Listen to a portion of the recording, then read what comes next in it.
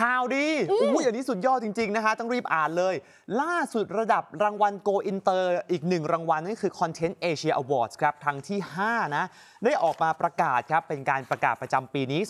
2024 คือรางวัลนี้จัดขึ้นเพื่อเป็นรางวัลอันทรงเกียรติมอบให้กับคอนเทนต์คุณภาพในเอเชีย ทั้งเบื้องหน้าและเบื้องหลังรวม 27 รางวัลด้วยกันนะครับปีนี้มี 2 รายการคุณภาพที่ผลิตโดยบริษัท Workpoint Entertainment จำกัดมหาชนของเรา เข้ารอบลุ้นรางวัลชนะเลิศสุดยอด เกมโชว์แห่งเอเชียอุ้ย Best Asian Original Game Show ครับ2รายการด้วยกัน1เลย Face Off เอาแฝดคนละฝาหัวควรนะพี่อันนี้นะดีและรายการ Fandom แพนแท้ อันนี้สุดยอด ก็ดีมากเลย สร้างความดีใจให้ทีมผลิตทั้ง2รายการอย่างยิ่งเลยนะครับ เพราะนอกจากจะรายการมีกระแสโด่งดังให้คนดูทั้งประเทศแล้วเนี่ย ยังดังไกลไปต่างประเทศสามารถเข้ารอบชิงชนะเลิศลุ้นกันต่อด้วย ซึ่งงานประกาศผลรางวัลระดับอินเตอร์นี้จัดขึ้นโดยนิตยสาร ContentAsia ค่ะ ผู้นำสื่อสิ่งพิมพ์และสื่อดิจิตัลนะคะในต่างประเทศรายใหญ่ ที่นำเสนอข่าวเชิงลึกเกี่ยวกับความเคลื่อนไหวของการตลาดคอนเทนต์ ในภูมิภาคเอเชียแปซิฟิกค่ะ ยาวนานถึง 18 ปีนะนะ โดยจัดงานครั้งนี้เป็นปีที่ 5 ค่ะ ซึ่งในแต่ละปีจะมีผู้เข้าชิง